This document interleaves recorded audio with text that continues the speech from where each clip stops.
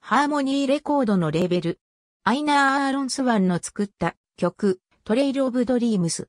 このレーベルは1932年まで基本的なデザインはこのままであったが、そのまま背景の赤い色が後にはより鮮やかになった。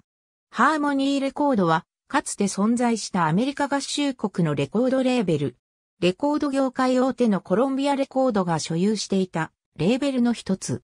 このレーベルは1925年に登場し、1920年代後半から1930年代にかけては低価格の78回転板のレーベルとして位置付けられていた。その後、1950年代には1枚のレコードに再発楽曲を9曲から10曲集めたバジェットアルバムのレーベルとして復活した。このレーベルが最も活発だったのは1960年代でコロンビアはこのレーベルから新たな再発音源を出すことを1970年代半ばまで続けていた。最初期のハーモニーレコードは電気式吹き込みがレコード産業界に広がっていった時期に登場したにもかかわらず1929年初めに至るまでアコースティック録音を行っていた。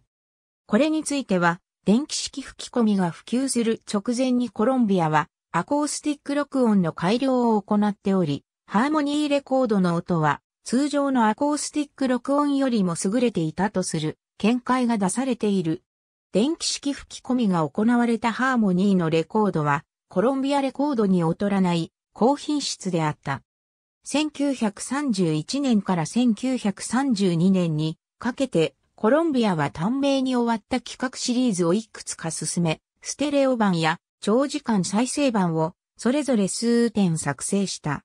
コロンビアの経営権を取得したグリグズビーイコールグルナウ社はハーモニーのほかベルベットトーンレコード、クラリオンレコードの廃止を決めた。